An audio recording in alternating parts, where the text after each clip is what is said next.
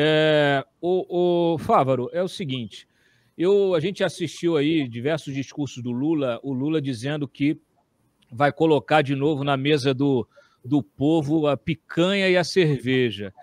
É, a gente que acompanha a política aqui diariamente e acompanhou o governo Lula e a política dos gigantes nacionais, é, viu o uso do BNDES para turbinar, para criar esses, essas grandes, essas mega corporações que se tornaram as produtoras de proteína animal, como a JBS, Minerva, é, Marfrig, é, que inclusive usaram até empréstimos do banco do BNDES para é, comprar frigoríficos no estrangeiro, para gerar emprego fora do Brasil.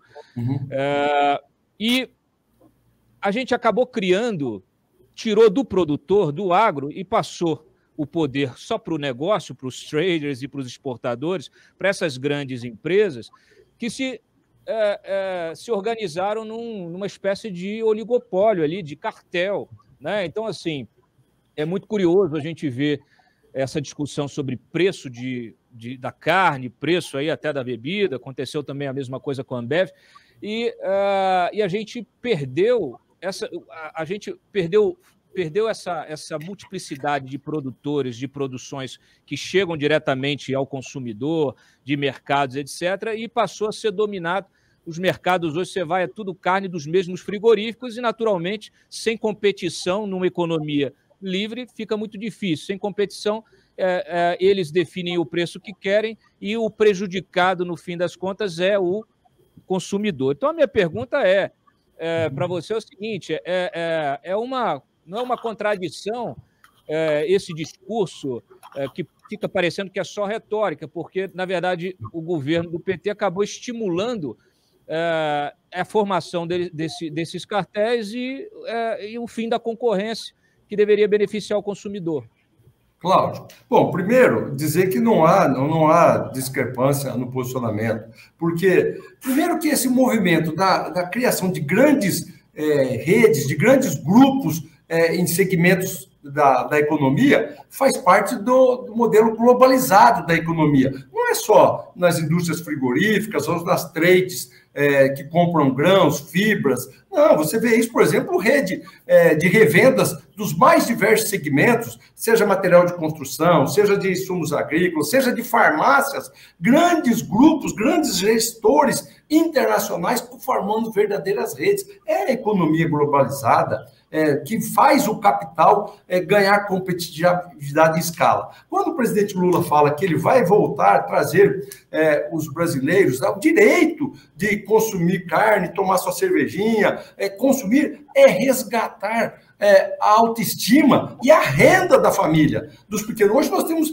16 né, milhões de miseráveis no Brasil, miseráveis passando fome. A fome voltou no Brasil. Nós temos aqui no Mato Grosso, que é uma fartura de produção de alimentos, e nós temos fila do osso. Famílias indo buscar osso para fazer um caldo. Onde já se viu isso? Nós não podemos ter essa discrepância, nós temos que incentivar, nós temos que incentivar mais indústria, nós temos que incentivar a verticalização da produção, a qualificação profissional, a retomada do crescimento da infraestrutura logística, que gera emprego, que gera obra. Nós diminuímos nesses últimos três anos 19% dos investimentos em infraestrutura. Nós já chegamos a investir 105 bilhões de recursos públicos do governo Lula para infraestrutura e outros 120 milhões, 130 milhões de reais da iniciativa privada, fazendo estradas, portos, aeroportos, ferrovias. Eu pergunto ao, ao secretário Naban, qual grande obra de infraestrutura o presidente é, Bolsonaro fez para o Brasil nesses quase quatro anos? Eu posso elencar dezenas de portos, ferrovias. A rodovia BR-163, que liga Mato Grosso ao Pará, faltava mil quilômetros para ser pavimentada. 905, foi feito todo o licenciamento e 950 quilômetros foi feito pelo presidente Lula e até pela presidente Dilma. Quanto que fez o presidente Bolsonaro? Os outros 50 quilômetros restantes.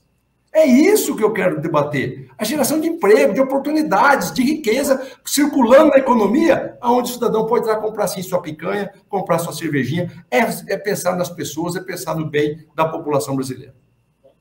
Naban, por favor, pode comentar a resposta Bom, do. Senador Fábio, com todo o devido respeito que eu tenho ao senhor, mas não pega bem um senador da República, embora eu respeite a sua escolha de defender quem o senhor quer, isso faz parte da democracia, mas o senhor vem fazer demagogia num debate que o país inteiro está nos vendo e ouvindo.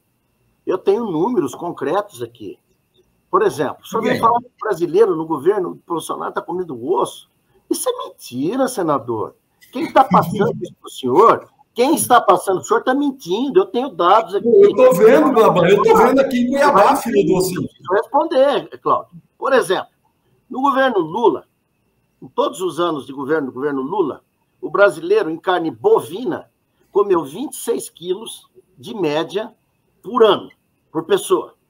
No governo do presidente Bolsonaro, em carne bovina, em, apenas três anos de governo, três anos e meio, comeu 28,3 carne bovina. Ou seja, em apenas três anos de governo, é, enfrentando uma pandemia que acabou com o planeta, o, o governo, o presidente Bolsonaro, o brasileiro comeu mais carne bovina. Vamos para a carne suína. Nos, nos oito anos de governo Lula, o brasileiro comeu por, por ano a média de 10,75 quilos de carne suína. No governo, nos três anos e meio do governo Bolsonaro, o brasileiro comeu 16,85. Vamos para o frango. Nos, nos, nos oito anos de governo do Lula, o brasileiro comeu, média ano, 26 quilos de carne de frango. No governo do presidente Bolsonaro, em apenas três anos e meio, ele comeu uma média de 46,6 quilos de carne de frango. Então, essa conversa é isso que está que tá levando o PT à, à loucura. Não, não, é a mentira. Não pode mentir, senador. Quem está Não, eu não estou mentindo. Não, não, eu dizendo que o senhor está mentindo. Eu não, eu não estou mentindo. Tá eu, tô, eu, vou, eu vou, eu vou tá fazer uma pergunta. O povo está comendo osso, está é. mentindo para o senhor. Não, não estou mentindo. Com relação ao governo Lula, com relação à questão da infraestrutura para o governo Lula, como disse aí um produtor rural, que aliás é muito amigo seu, da família Maggi, teve um vídeo dele aí, um áudio, que correu aí, olha, no tempo do Lula, eu tinha financiamento a juros de 3% ao ano, eu tinha carência, eu pagava só para os amigos do rei. Essa é a diferença. Não, não. No governo do presidente Bolsonaro, você foi presidente da ProSoja, eu Fui. tenho aqui contato permanente com a ProSoja, com a uhum. Climate, com a Federação da Agropecuária, com todos, tá? Todos são unânimes. No governo do presidente Lula, quem tinha benefício, quem tinha dinheiro fácil, eram os amigos do rei, como disse aqui o nosso jornalista. Não, não, não, não distorce as coisas, tá bom? Eu queria, eu queria ir por partes. Eu, queria ir por partes. eu também não vou parar de falar, porque você não para, eu também não paro. Você não quer ouvir. No governo é. Bolsonaro, todos são iguais. Só para terminar, só para terminar, ele citou, por exemplo, da questão de produtores. 65% dos produtores do estado de Mato Grosso são pequenos produtores. Esses dados são oficiais, dados do INDEA. Então, essa, essa conversa de dizer, olha, o latifundiário, isso não cola mais, senador. O senhor é um homem, o senhor Deixa eu passar é um... a palavra para o Fávaro agora na banca. Claro, claro Obrigado. Fávaro, fica... Olha, eu vou, eu vou responder os números que o secretário Navan passou do consumo de carne, que está explodindo, está consumindo cada vez mais. Eu queria só fazer um questionamento. Por que que, então, o presidente é, mandou a, a acelerou a tramitação da PEC, dita PEC Kamikaze, de, que criou o auxílio emergencial de 600 reais até o final do ano, porque as pessoas estão passando fome. Por que precisou fazer essa PEC de emergência, então?